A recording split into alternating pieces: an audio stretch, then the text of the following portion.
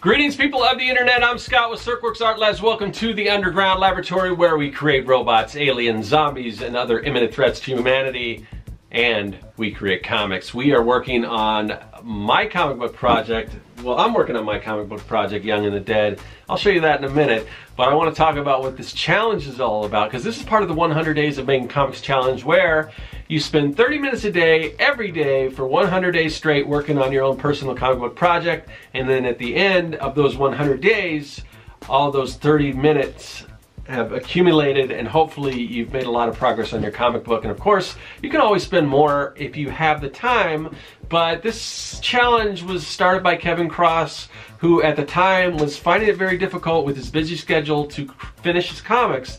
So he said, you know what, if I just spend, if I just put 30 minutes aside every day to work on this personal project, then it will grow and, we'll, you know, th that time will add up. And uh, so that's what we're doing. I try to put more in, but uh, at least 30 minutes a day, and that seems to be what has been going on because uh, like Kevin did when he first started off, I have a pretty busy schedule. So um, anyway, so where are we at with the challenge? We are at day 48, I believe. I think so, yeah. So day 48, so we got the big fat Sharpie, the big sheet of paper, and uh, we're gonna write that down so we don't lose track of where we are in the challenge. And uh, so, like I was saying, back to the comic book itself. Uh, Young and the Dead this is the deluxe artist edition. There's also a regular standard edition, the, kind, you know, like the kind of standard size, like you would see at a comic book store. We've got one of those, but this is the deluxe one. This is handmade, hand put together. It even comes with an original sketch, and it is available at Serkworks.com as well as all the other versions of uh, issues one, two, three, and I'm working on four right now. So hopefully that'll up, be up there soon. So like I said, and it, like I said, it comes with an original sketch. And uh, and speaking of sketches, uh, I was going to show you some of my sketches. Now, usually, um, and you know, for most people, I would recommend you know picking up one of these sketchbooks. But I'm going to show you my sketchbook here. And uh, this is pretty sad because, as you can see, there's nothing in it. I am so bad about keeping a sketchbook. Um, I don't know what it is. I just, uh, you know, I, one of these days I'm going to start filling up a sketchbook. But typically, and it's not that I don't do sketching, I sketch all the time, but I usually do it on, on loose sheets of uh, cardstock or Bristol or paper or whatever. And uh, maybe what I'll do is I'll take those sketches and I'll compile them. I'll just paste them together in a book or uh, like a sketchbook and that'll be my sketchbook. Um, but anyway, but I do do a lot of sketching, so I was going to just show you some of my sketching so you can kind of see what I do when I'm not doing comics. Uh, and uh, some of these sketches you may have seen on the channel. I, you know, uh, before I did the 100 Days of Making Comics, I showed how I the process of a lot of these sketches. But I'll just kind of show you again. Now, as I said in the beginning, I do a lot of robots, I do a lot of aliens, I do a lot of zombies and other imminent threats to humanity. So you will notice a theme as we go through these sketches. So anyway, so just to give you an idea of kind of what I like to do. Um, here, here's one. Here's is that that's getting a little washed out, but uh, yeah. So just a little zombie and a little dog, and the dog is running around, you know, running away with the zombie arm. Um, that one is most mostly what I do is pen and ink, but sometimes I'll do a little Copic color in there. Um, so here is like a deep sea kind of fishing drone diver guy. Um, got some sharks in there that's, I don't know if that's necessary. Well, robots, you know, if it's a drone or a mech or something. This is just a, kind of a space adventurer guy. Can you see that? Yeah, it seems like it's getting washed out by the camera. Um, here's sort of a, a, kid zombie fighter. Now, this is not a character of Young and the from Young and the Dead, but you know, I don't see any reason why it couldn't be. Um, you know, maybe if we do a sequel or something, we can introduce this character. I don't know, but uh, yeah, I, I kind of like the look of that. Um, Here's just a goofy kind of alien on some kind of a speeder type bike, you know, speeding through space. Um, here's a kind of a cool like assassin robot, some kind of, you know, looks like he's gonna do some damage there. Um, I like to draw mechs a lot. So this is kind of a construction mech um, and it's driven by one of my little hench minions. uh, that helps run this this uh, underground lair. Uh, here's a, here's another one that I really like. This is just a it's just a dinosaur. Uh, he's kind of like a you know almost like that construction mech. It looks like he's doing some construction or maybe he's demolishing something or whatever. Uh, this is just kind of my version of sort of a Frankenstein type monster.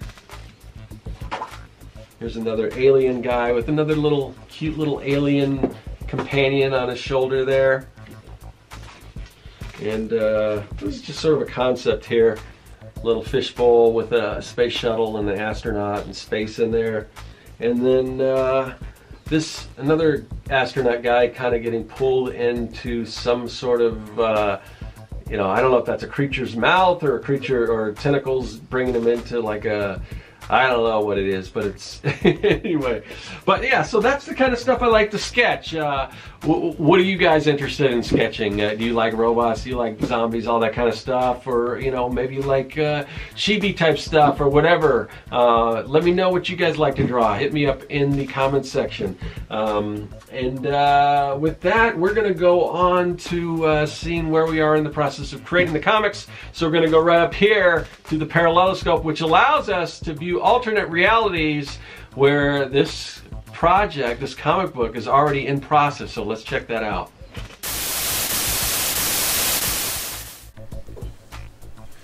Okay, uh, on to inking uh, page two, and uh, yeah, it's just get, it's getting harder and harder to find time. if you've seen my house, it's just like a disaster. I mean, um, it I just haven't had time to clean and do do all this other stuff. Um, but you know, I I'm managing to get that 30 minutes a day in, but it just that's just it. So, um, yeah, the the just putting these videos together it's like I keep wondering if I bit off more than I can chew. But you know, I'm gonna persevere and and uh, and get through this. It's just just the, you know a bunch of other stuff that's kind of come into play and trying to uh, juggle all that. Um, but um, but anyway, getting getting work done regardless. So uh, anyway, on this uh, this panel, we're moving in again more into the interior of this uh, research facility. We're kind of looking down the corridor. Um, and again, this is uh, kind of like the first page in that there's not a whole lot of characters. It's mostly just me inking with the micron, and there'll be some some brushwork here, and it's going to be like that uh, pretty much through the third page. But yeah, so it's it's a little tedious. I'm looking I'm looking forward to get further into the book, and you know, because it's always fun to to illustrate characters. And the way this is starting out, we haven't even returned to what our heroes are doing. So, but that's uh, that's you know that's the story. That's the way I've kind of laid it out. So probably not as uh, fun to watch as as like big character battles and zombies and all that stuff, but it, it all everything has its place in, in telling a story. So that's kind of where I where I am right now. And you know, I'm, I'm, sure I will get on top of all this stuff. It just right now it's pretty overwhelming, but um, but that you know, that, I guess that's sort of a good good lesson as far as you know getting stuff done. I mean, that's what this is all about. This is uh, sometimes it's hard. It's some it's not always easy, and uh, we've got to uh, got to make that time, and that's what that's all about. So whether it's 30 minutes or you know someday maybe I'll have more time, but it's so far it's just been those 30 minutes trying to get that time in, and uh, I'll be back. You know, I'll be back tomorrow for another 30 minutes. So. All right, that's another day gone. Let's uh, pull off the day from the pad. We're gonna crumble up day 48, toss it in the garbage, and uh, we are gonna see you tomorrow for day 49. I'll see you then, that is all. Hey